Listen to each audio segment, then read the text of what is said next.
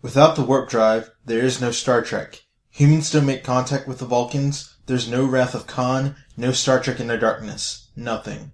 Before we get into what a warp drive is and how one might work, we need to understand why the warp drive is a necessity in the Star Trek universe.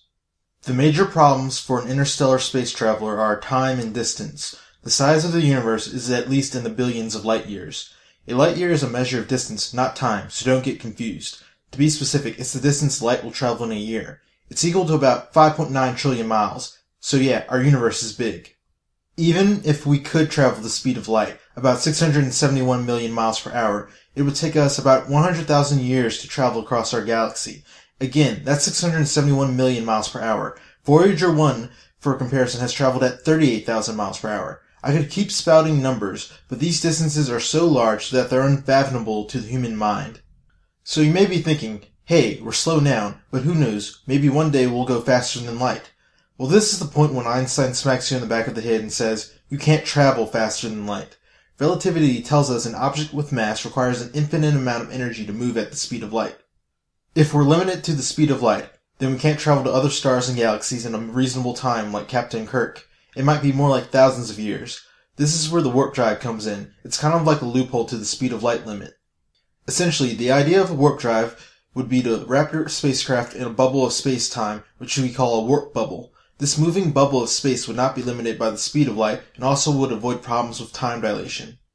Real quick, time dilation essentially involves the fact that time moves at different rates for different objects depending on their velocity and gravitational forces acting on it. So if you're traveling really, really, really fast, a year of travel for you might mean 10 years have gone by back on Earth. This isn't a problem with Star Trek and won't be a problem with a warp drive because you aren't moving relative to the bubble of space, so you don't have to deal with this relativistic effect. Now, in Star Trek, they kind of handwave about antimatter matter reactions and making some kind of plasma for the warp drive, but we're just going to ignore that and look at what the actual scientists have to say about making a warp drive. The biggest name in the modern science of warp drives is Miguel Alcubierre. Sorry for any mispronunciations. He's a Mexican theoretical physicist and the man responsible for the Alcubierre drive. In 1994, he published a paper in which he created a model of a warp drive. His warp drive would create a wave by causing the space in front of the ship to contract and the space behind it to expand. The ship would be in the warp bubble and ride the wave.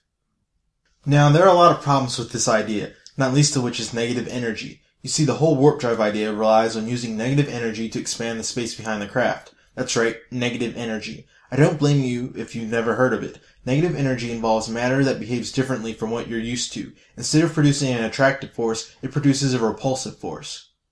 Now, a good reason you've probably never heard of negative energy is because, to be honest, we have no direct proof of it. It's never been measured in an experiment.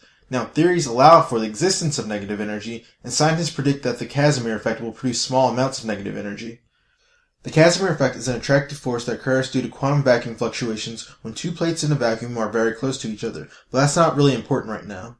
Alcubierre's warp drive requires an unrealistic amount of negative energy, so most people gave up on the idea. Now we get to the latest hubbub.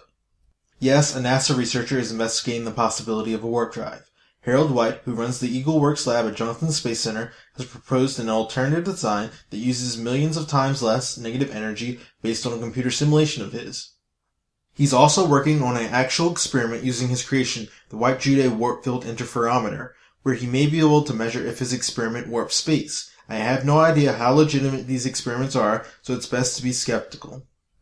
There are plenty of other problems before we can make a warp drive, like how do you enter and exit the warp bubble, and how do you distribute the negative energy. Even our good friend Alcubierre doesn't see a way to figure out all these problems in the near future.